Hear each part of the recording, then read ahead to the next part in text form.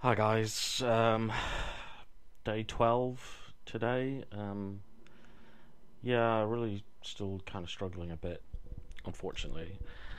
Um, but like I said yesterday, I had um, I had some therapy today with my therapist, and uh, we kind of went over some stuff that was quite difficult today. Um, which is good in a way because it means I'm actually starting to process things, but it's bad short term because it kind of drags up a lot of bad stuff basically in your mind.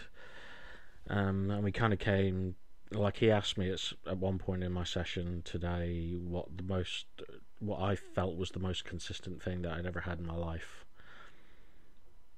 And the first thing that came to my mind and came out was depression.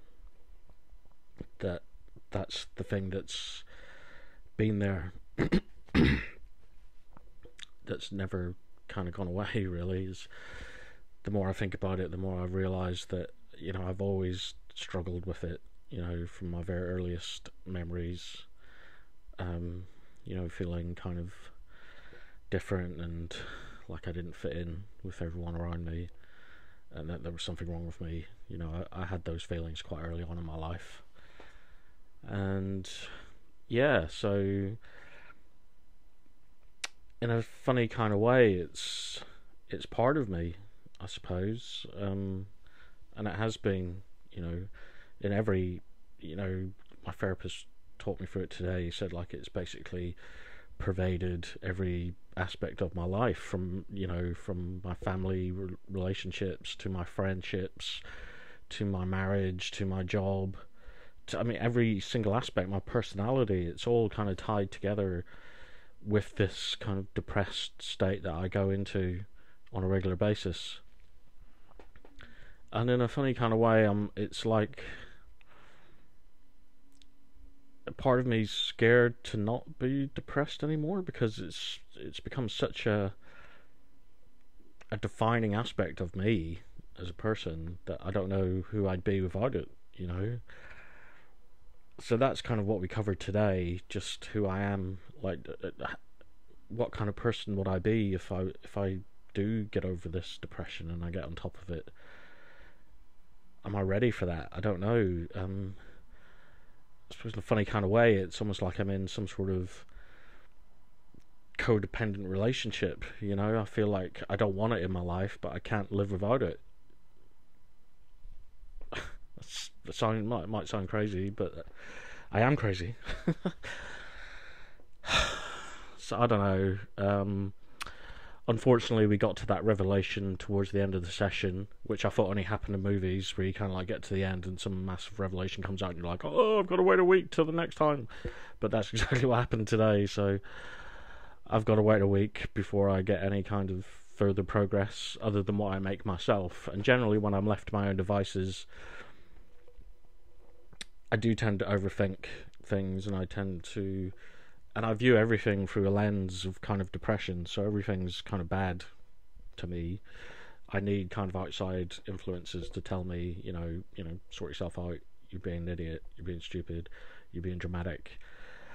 Um, but yeah, I found it really interesting today. The session didn't really help me with my current feelings of being quite low but it has given me something to think about. And we're kind of going to, from now on, we're going to approach our therapy in respect of how can I view my depression as a separate part of me rather than as an integral part of me, because I think as long as I do that, I'm going to be, I'm going to find it really difficult to let go. Um,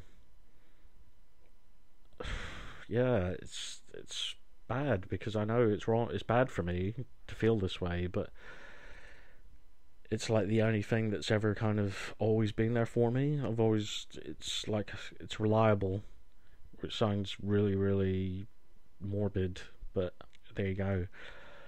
I'm looking forward to working on kind of separating myself from my depression rather than viewing myself as a whole. If that's even possible, I don't know.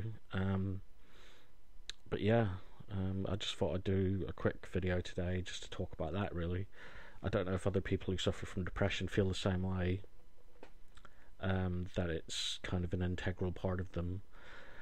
Because I think it is for me. I think um, it definitely affects my personality. And I know that growing up, I had this feeling of not fitting in and not belonging, and I would, I wanted to belong. Excuse me. I wanted to belong. I wanted to fit in.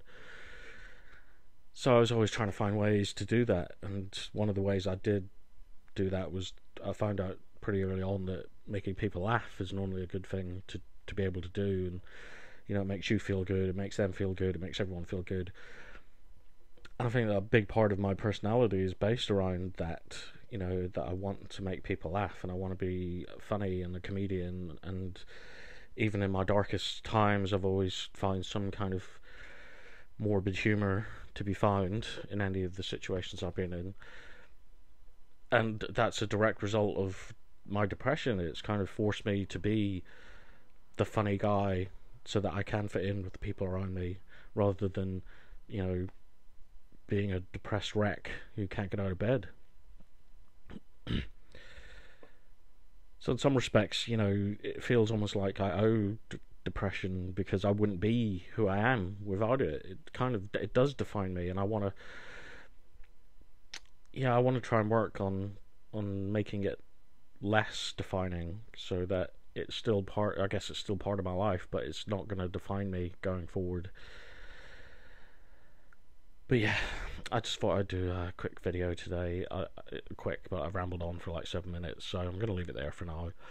Um, yeah I'll catch you guys tomorrow. Take care of yourselves. I hope you're doing okay